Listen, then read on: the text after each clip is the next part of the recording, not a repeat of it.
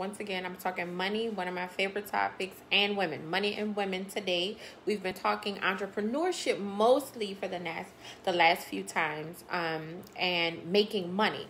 This time, I want to talk making money, women, and entrepreneurship because this is all about making money. So, I am wanting to talk about. So, I just recently had a little Facebook conversation with uh, someone, and it it was around women in the WNBA not making as much money as men in the NBA. Yeah, of course, most people know that.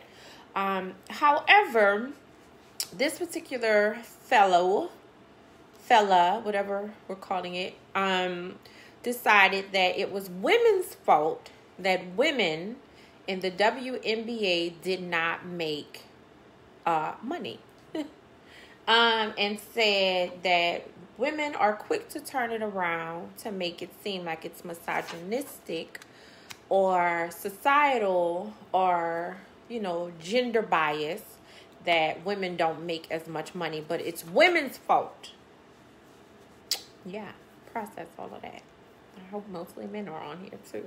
It's women's fault that women, more specifically women in the WNBA, but women don't make as much money as men. Right. So I want to just expand on that. I won't spend a huge, but I want that to sink in. Um, if you are wondering why, um, there are things that I don't often talk enough about as far as things that may hinder us from making money because I do believe and as you know from meditation and different things like that I do believe in focusing on the thing that's going to bring me more of the abundance that I want. Um and if I'm drying off a little bit I might just wash my hair. Um and so focusing on the things that I want. However there are going to be things that attempt to block us. And that's why i don't focus on them because it's just an attempt. And they and something that's an attempt it's not necessarily a reality and something that's not a reality doesn't necessarily require energy. So that's how i feel about misogynistic societal uh, blocks. But they do exist. So um, as women in this society uh, making money does come with its own level of resistance I'll just say like that. It does come with its own level of resistance. Something that I notice a lot, and this is one of the things as an entrepreneur, as a person in business, because um, entrepreneurship is when you are the CEO or owner of your own company. However, even if you're working with somebody, you're still a company of one presenting yourself inside of that organization. So I think you should still look at it like you are the owner of your presentation, your skill, and the things of that nature.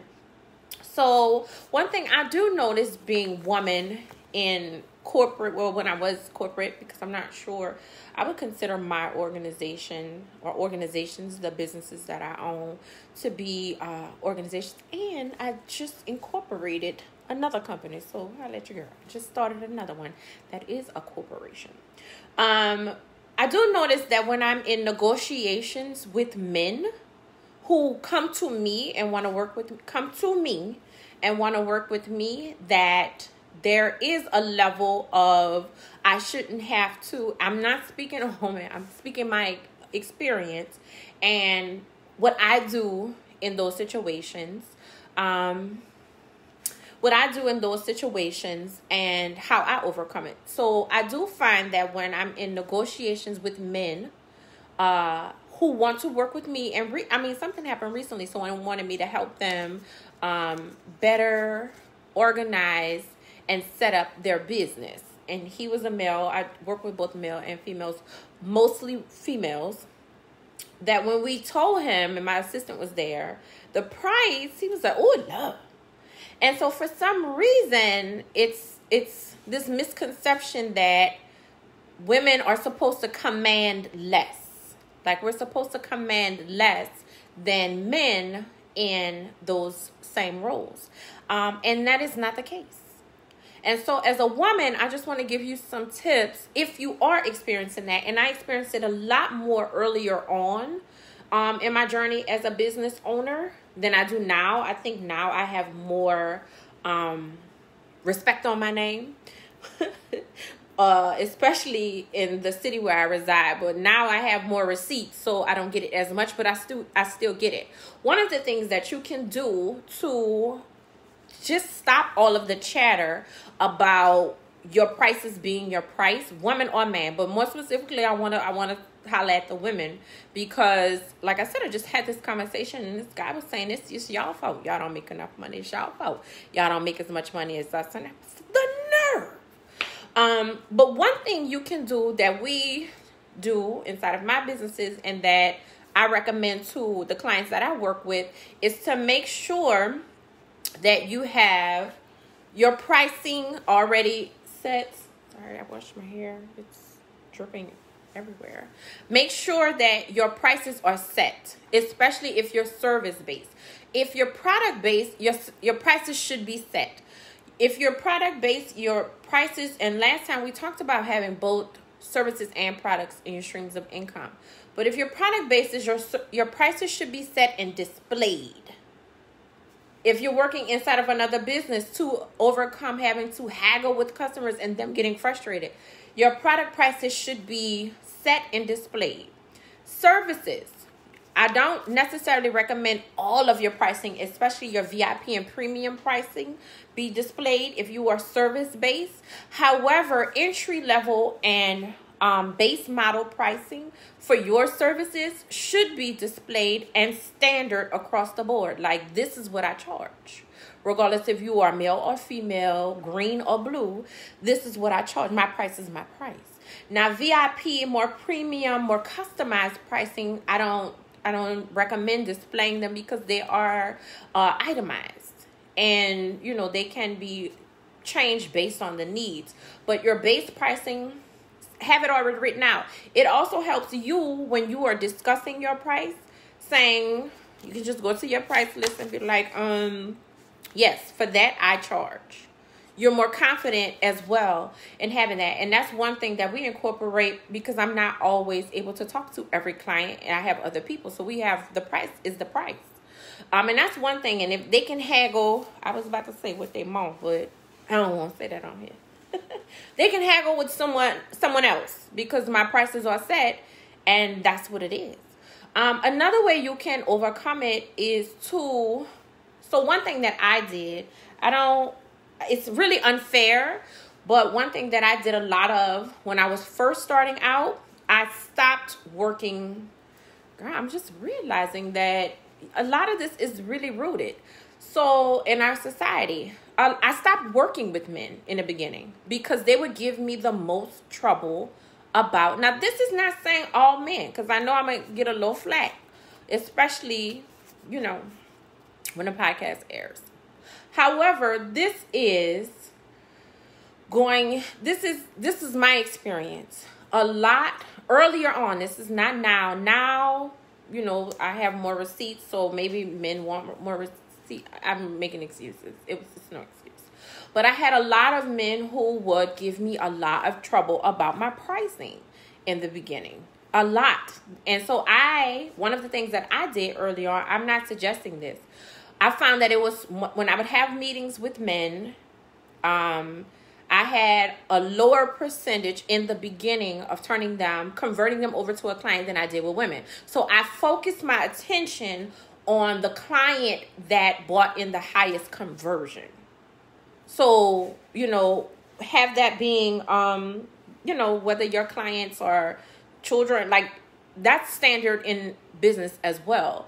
Whoever you figure out, some people call it your avatar. You figure out your client, the people who spend the most money with you, and that's who you target. So in the beginning, for me, it was women it is still mostly women, like 72, and it, it kind of fluctuates a little bit on the higher end.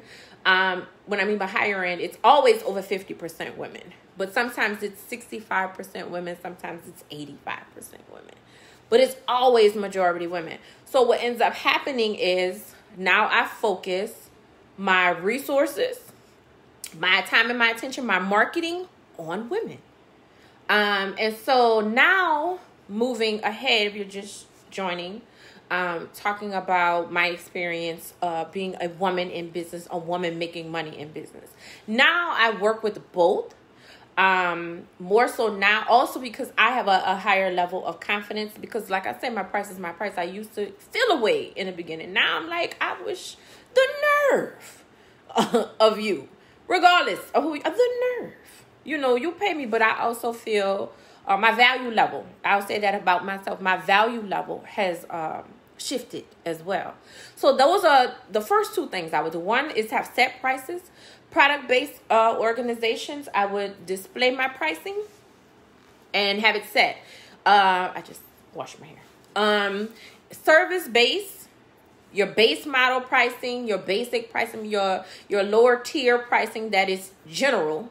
Um, display that it's set. That when, when somebody call your price is your price. It's easy for you to pull out your paper your employees uh, or that'll be five ninety nine sir. And you can tilt your head with that and everything.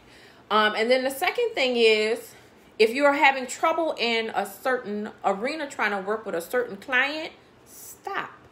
Until you perfect working with your ideal client. If i sell baby tees with little alligators on it. Literally, not baby tees that grown women wear because they accentuate the body, but baby tees, like little toddler baby tees, right? With alligators on the front. Would I market that to bodybuilders? No. I would market it to babies.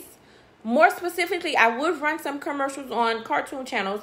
I would market it to women with babies so they can buy for their babies. I would do events that are focused on babies. The same thing in money. If you if the majority of your clients are women, you do not spend the majority of your marketing dollars trying to convert men to buy your product. You focus on the people who are buying. Um, and that's what I did. I did that because I didn't want the trouble. But now being in business for a while, I realized it was very smart. Even talking to you, I'm like, huh, look at me. I ain't wasting no time. Probably because they was giving me trouble. But, you know, so focus on who, who focuses on you. And then after you grow, then you can start to expand your net. When you see that there's a certain arena, like in the tax business that I'm the CEO of, um, that one, it just depends on who needs their taxes done. People, it's not really either or. In the um, in the consulting business, it is majority women it is majority women. And I did a live with one of my friends, I think in 2019, before Corona hit. Um, and one of the things that we had a lot of questions about because we were doing events, why didn't we do an all male event? And it was because women are the ones who come to us asking us for these events and who show up. So that's who we do them for. That's who want this this healing and this mindset shift. So those are the the three main things that I would suggest you find your sweet spot in if you notice um, you're having some resistance in an area. So I really do focus a lot of my marketing dollars. Like I have some marketing campaigns running right now. And when I tell you it doesn't even take into consideration who's not people who are not in my um, clientele base model avatar, whatever we're calling it. Like if you if I ran my insights and my analytics and it didn't include you or a group of people, then I'm not marketing to you because you don't normally buy my services and products. Now, could that possibly be exclusionary? Possibly, but it could be wasteful for your marketing dollars if you don't learn how to do that sooner. So a lot of that you could take personally. So the conversations just full circle started off because, like I said, I had this very uh, misogynistic, sexist uh, conversation on Facebook with somebody. I didn't take it personal because I don't even know them, and you could pay me right now, and I would mess up their name. You know, like your girl said on the Housewife. No, what was it? Basketball Wives. You are non-factor. And so for things that are non-factors, they can be distracting to our money, so we keep it moving. Uh, however, when figuring out how to make the thing that matters work around things that are non-factors, like you you you alleviate the non-factor, meaning you move past it, and then you say, okay, this clearly doesn't support my mission and my journey to get the highest dollar. So let me figure out what does and let me pour my time, attention, resources, money, and energy into that. Um, and so I gave you a few things that I used, I impart on on my clients or I push my clients to use that I know work. Now this is not something I think works. I know works. Um, and it can shift your business. If these people are not buying, then why market? And some people, and then, and this is the last thing because I'm thinking about it. I had a client who I suggested she market to a completely different genre.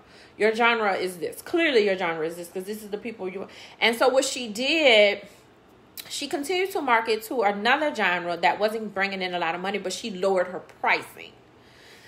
Ooh, I don't. We, we'll talk about that another time. Um, she ended up making a ton of money short term, or maybe long term. She she did end up making a lot of money from lowering her prices because then with the lower prices she was able to bring in more people. And it's kind of like walmart versus target.